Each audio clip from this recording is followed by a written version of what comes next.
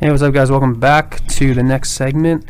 So remember that we just ran our analysis and we got some results. We're looking at the deflection right now. And also we can look at the reactions tool and another cool feature is we can look at the shear diagrams tool. See, but this one's pretty huge. So we need to scale this again. Let's go 0.001. There, so now we got some positive and then some negative. And then we can look at our moment diagram tool and we get the perfect uh, moment diagram for this particular shape.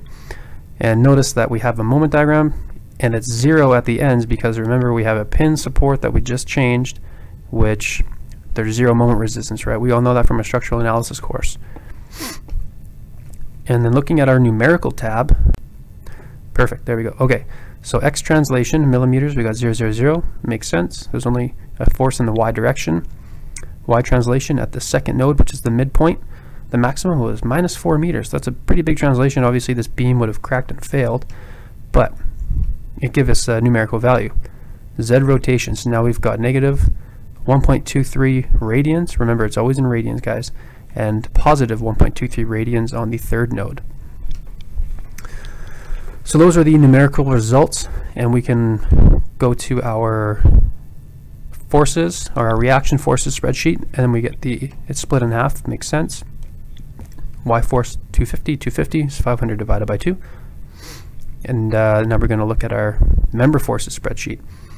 So this is a new property for us, a new table for us because now we can actually deal with some shear stresses within the beam because we're dealing with vertical forces and then also the moment throughout the beam. We have our max at the midpoint at 1250 and our shear is positive positive and all the way down to negative and that's constant and that meets and changes at the halfway which we all know from our structural analysis course. And then this is also new. We look even further down to the member normal stresses spreadsheet now we've got some normal stresses because we have cross cross-sectional properties. So that way we can get some normal stresses throughout the beam. So one cool property is that we can change the stations. We can change how many points that we want to analyze. So by default it was at 5.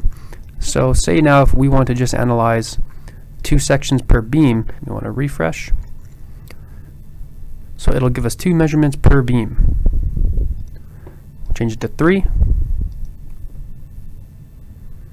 refresh, you got to click in and then click out again. So now we got six measurements total because we have, so and it shows you the station. It'll be at zero, halfway, and then halfway between beam one, and then the midpoint between the whole beam system, and then again at the halfway point, which are that they are the same because we have a symmetric loading on a symmetric system. So what that did, it basically took a measurement at node one, at the halfway between here, at node two, at the halfway between two and three, and then again at node number three. And depending on how many points you want to take measurements at, you can change um, your sections to as many as you want. Okay, now I promise the next video, the next segment, we're going to be looking at load combinations. I got a little carried away on that one.